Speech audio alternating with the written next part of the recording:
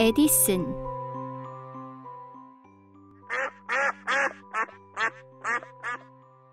어느 날 에디슨이 헛간에서 어미거위처럼 알을 품고 엎드려 있었어요. 이것을 본 에디슨의 어머니가 물었어요. 에디슨, 지금 뭘 하고 있는 거니? 거위 알을 품고 있으면 아기 거위가 태어나는지 보려고요. 에디슨은 호기심이 많은 아이였어요. 8살이 된 에디슨은 학교에 다니게 되었어요. 궁금한 것이 너무 많은 에디슨은 선생님에게 늘 엉뚱한 질문을 했어요. 그런 에디슨에게 선생님은 화만 냈어요. 결국 에디슨은 석 달 만에 학교를 그만두고 집에서 어머니와 함께 공부를 하게 되었어요. 어머니는 에디슨의 질문에도 잘 설명해주고 책도 많이 읽어주었어요. 에디슨이 12살이 되었을 때 기차에서 신문을 파는 일을 하게 되었어요. 에디슨은 기차 짐칸에 연구실을 만들어 일하는 틈틈이 좋아하는 실험도 하였어요. 하지만 기차가 덜컹거리는 바람에 실험 약품이 쏟아져 기차에 불이 나고 말았어요. 이 바보 같은 녀석, 당장 내다버려! 어느 날 에디슨이 철로에서 놀다가 기차에 치일 뻔한 역장의 아들을 구해주었어요. 고맙구나. 너에게 전신 기술을 가르쳐 주마. 에디슨은 열심히 배워 전신 기사가 되었어요. 그러다가 더 좋은 전신기도 만들면서 발명가가 되기로 마음먹었어요.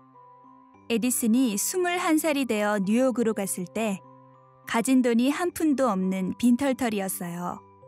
친구가 겨우 소개해준 금값을 알려주는 회사 지하실에서 머물고 있었어요. 어느 날 그 회사의 기계가 모두 고장이 나는 사고가 발생했어요. 일을 어쩌지? 아휴, 큰일 났네. 제가 한번 고쳐보겠습니다. 에디슨이 기계를 고치자 기계는 다시 움직였어요. 자네, 오늘부터 우리 회사 기계들을 관리해주게. 에디슨은 그때부터 돈도 많이 벌고 여러 기계를 발명해 제법 유명해졌어요. 에디슨은 발명에만 집중하기 위해 발명 연구소를 세웠어요. 연구소에서 에디슨은 축음기를 만들었는데 그것은 사람의 목소리를 저장했다가 들려주는 기계였어요. 이럴 수가. 에디슨, 당신은 위대한 발명가예요. 사람들은 축음기를 보고 모두 놀라워했어요.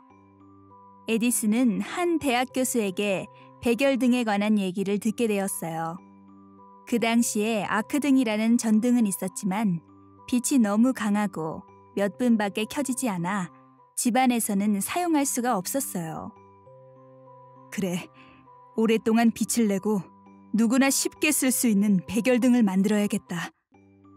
에디슨이 백열 등에 필요한 필라멘트를 만들기 위해 수많은 재료를 실험했지만 모두 실패했어요.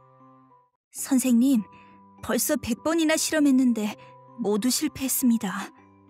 불가능할 것 같은데 그만 포기하는 것이 어떻겠습니까? 무슨 소린가? 우리는 실패한 것이 아니라 필라멘트가 안 되는 재료를 100가지나 알아낸 거라네. 그렇게 백열 등 연구에 매달린 지 15개월 만에 드디어 필라멘트를 만드는 데 성공했어요. 1600가지나 되는 재료를 실험한 끝에 전기에 타지 않고 빛을 내는 재료를 찾아낸 뒤 에디슨은 이렇게 말했어요. 수많은 실패는 성공을 위한 과정일 뿐이다. 그날 밤 연구소 앞에 많은 사람들이 초대되었어요. 자, 이제 불을 켜겠습니다. 수백 개의 전등이 동시에 켜지자 주위가 대낮같이 환해졌어요. 이럴 수가! 이건 환상이야! 발명왕 에디슨 만세! 백열등을 발명한 이후에도 에디슨은 영화를 볼 수 있는 영사기와 같은 많은 발명품을 만들어냈어요. 이렇게 에디슨이 만든 발명품은 천 가지가 넘었어요. 1931년 에디슨이 84세의 나이로 세상을 떠났을 때 사람들은 모두 1분 동안 전등을 켜지 않았어요. 에디슨, 당신은 정말 위대한 발명가예요.